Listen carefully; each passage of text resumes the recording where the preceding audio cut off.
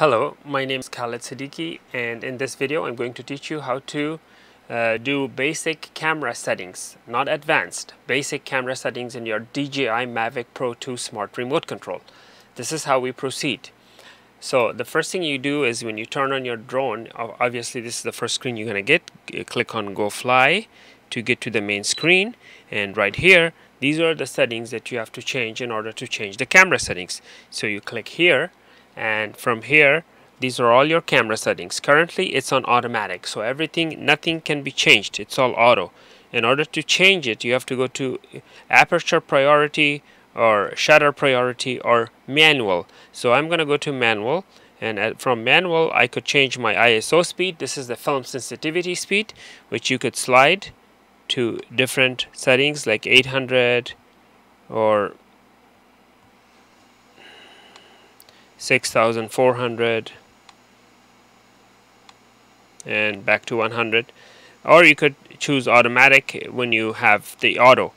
Now uh, about uh, aperture same thing. Currently is 3.4 you could change it to 10 11 remember the smaller the aperture the lesser light comes through the lens. So you only choose 11 if it's super bright sunny day uh, normally you don't choose 11 and 2.8 is for super uh, dark like at night time okay?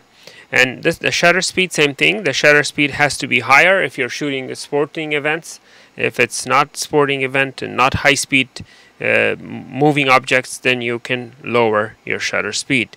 But the higher the shutter speed the brighter light is required.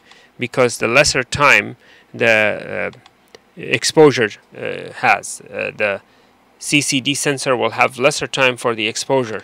Now this goes up to 1 over 8 thousandths of a second, which is super, super fast. Uh, so, you know, you could, you could catch a football in mid-air without any blur at that speed. So, you know, but yeah, so if you want to go back to automatic, you simply go to auto and it will take you back to the automatic settings which is 1 30th of a per second and 3.5 shutter speed. Now th uh, this is the video settings. When you go to the video settings like video size you could choose.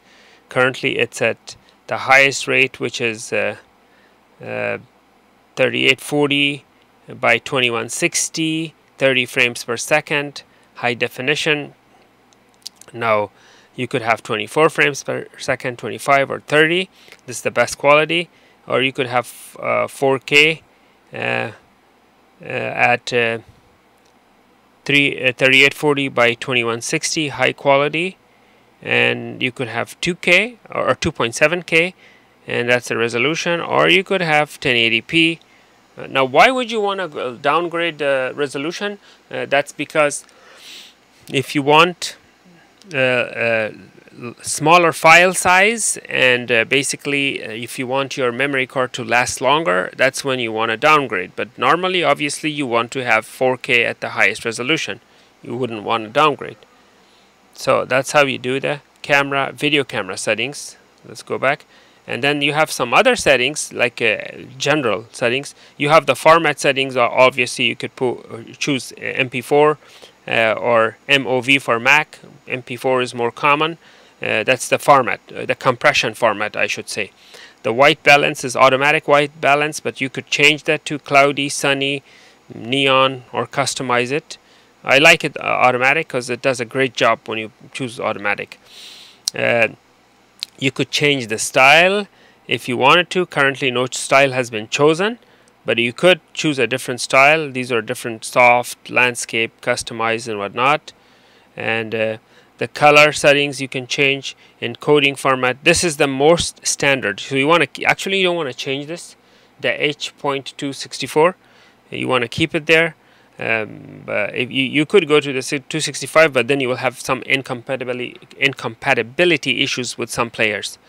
Alright so uh, then we have the settings uh, save original uh, or you don't want to save the original. You could say uh, these are the histogram and these are advanced camera settings which are not basic. I'm not going to go through over these uh, such as grid and zebra and whatnot uh, for advanced photographers and videographers. Uh, it's not something that you would want to worry about. And then right here is the SD card formatting which you could go to SD card if you wanted to format. Currently there aren't any SD cards available so the drone has no SD card but you could choose the SD card format right here should it had an SD card. Uh, you could format the internal memory. As you know the new drones have internal memory so even if you don't have an SD card you could still uh, basically record. Uh, that's actually a great improvement that DJI did because uh, now basically you don't have to worry if you left your house and you forgot to take an SD card with you because the drone can still record some footage on its internal memory. Alright, thank you for watching. Please don't forget to like and subscribe.